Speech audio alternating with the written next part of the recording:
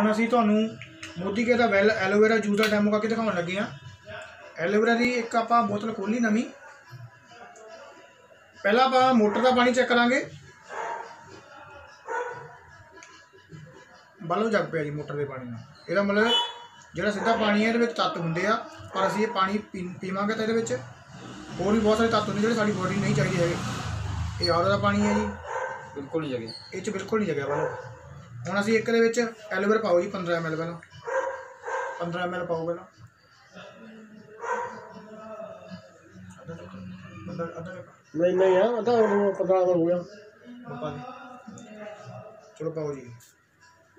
ਹਲਾ ਰੋ ਮੜੇ ਹਲਾ ਰੋ 15 ml ਪਾਇਆ ਇਹਦੇ ਵਿੱਚ ਐਲੋਵੇਰਾ। ਲੋ ਜੀ 15 ml ਨਾਲ ਬਲਬ ਜਗ ਪਿਆ। ਠੀਕ ਆ ਜੀ, ਇਹਦਾ ਮਤਲਬ ਸਾਡਾ ਐਲੋਵੇਰਾ ਵੀ ਬਹੁਤ ਵਧੀਆ ਆ। ਇਹ 20 ml ਆਪਾਂ ਪੀਣਾ ਹੁੰਦਾ ਵੈਸੇ। 15 ml ਨਾਲ ਬਲਬ ਜਗ ਪਿਆ।